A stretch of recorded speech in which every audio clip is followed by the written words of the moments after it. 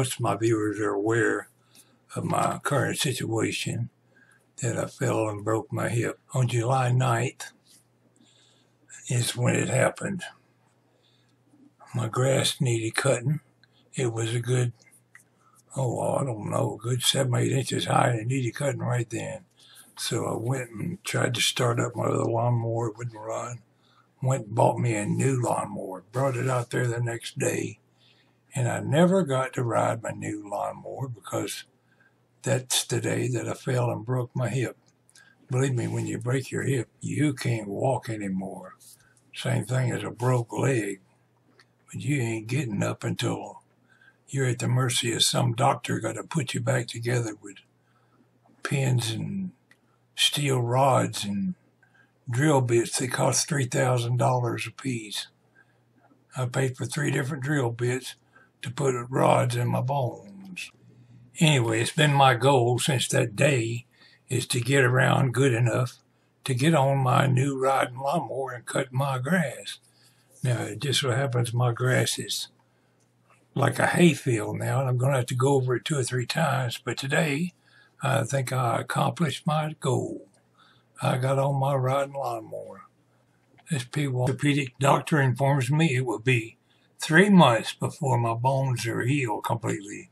So I do need to be careful, but Walter is out there getting it done today. Well, I didn't film it, my friends.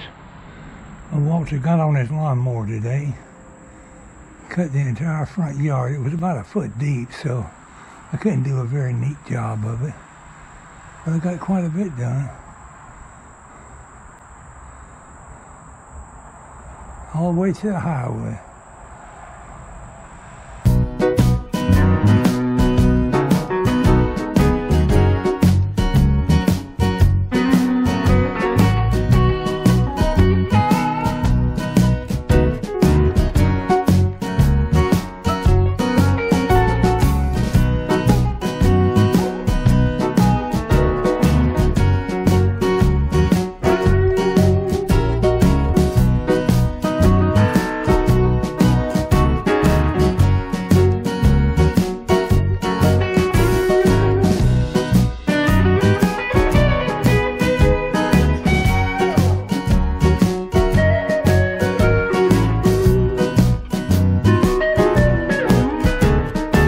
YouTubers.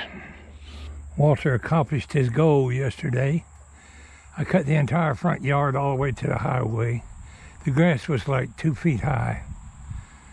I didn't cut the backyard last time I was out. I mean, I had to go around this twice. And uh, I accomplished my goal to get back on my lawnmower. Now, how does a guy with a broken hip get onto his zero turn lawnmower? The answer is very carefully once I'm situated here, my left leg is my bad one and it doesn't do any work. My right leg raise and lower the blade here. And this one's a little more strenuous to raise than my Husqvarna. Uh, it's on my project to finish my Husqvarna. This is going to be my first video in a while. We're going to go around and cut a little bit in the back today. And you'll see grass around there. Fescue grass is four feet tall in some places.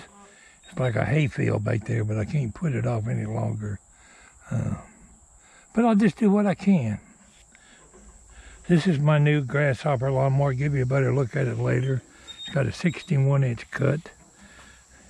I'm wearing a seatbelt, although I don't think I'm going to fall out of here. But the wife insisted. Got the blade, the belly up a good one, two, three, four, five, six, seven, eight, nine inches of butter. If I cut to the ground, it's just going to bog down the motor. Let's go see what we can do.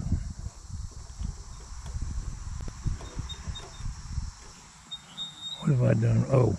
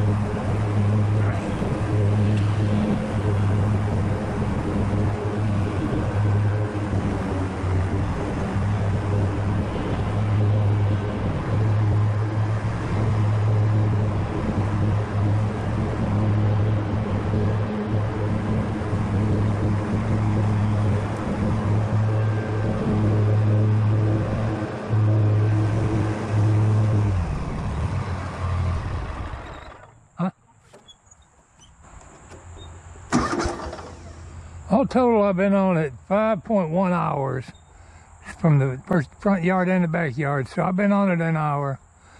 Uh, I've only got about another quarter of a tank and I'll be out. So I'm gonna cut right there and quit. You run out, how you gonna get it back to the car, the garage? I'm not. I'm not gonna cut everything. I'm just gonna finish where I'm at right there. Uh, I'll be around there in about ten minutes.